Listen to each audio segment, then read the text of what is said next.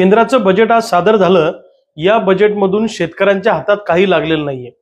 आमची शेतकऱ्यांची मागणी आहे की शेतीमालाला उत्पादन खर्चाच्या पन्नास टक्के नफा या सूत्रानुसार आम्हाला भाव मिळाला पाहिजे ही आमची मागणी आहे.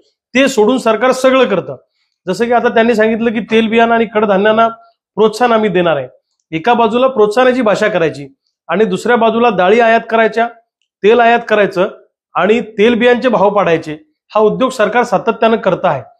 शेतीमालाला भाव मिळण्याच्या अनुषंगानं या अर्थसंकल्पामध्ये काही झालेलं नाहीये. शेतकऱ्यांना एकदा संपूर्ण कर्जमुक्त केलं पाहिजे. सिंचनाच्या सोयी उपलब्ध करून दिल्या पाहिजे शंभर टक्के. पूर्ण वेळ वीज उपलब्ध करून दिली पाहिजे. आणि शेतमालाला उत्पादन खर्चाच्या आधारित पन्नास टक्के नफाप्रमाणे भाव देण्याच्या अनुषंगानं काही तरतूद केलेली नाहीये. नवं तंत्रज्ञान ज्याच्यावर बंदी आहे जसं की मॉडिफाईड सोयाबीन आपण ज्याला म्हणतो जेनेटिकली मॉडिफाईड सोयाबीन त्याला परवानगी आपल्या देशामध्ये दिली पाहिजे. ही सुद्धा आमची मागणी होती. या संदर्भात कुठलीही तरतूद या अर्थसंकल्पामध्ये दिसून येत नाही. त्यामुळे फक्त हेडलाईन मॅनेजमेंट करण्यासाठी मोठमोठ्या घोषणा या अर्थसंकल्पामध्ये केलेल्या आहेत की ज्याच्यामध्ये पेपरमध्ये आणि टीव्हीमध्ये मोठ्या बातम्या होतील. पण प्रत्यक्षात लोकांच्या शेतकऱ्यांच्या हातात काही पदरात पडेल असं काही या अर्थसंकल्पामध्ये दिसत नाही.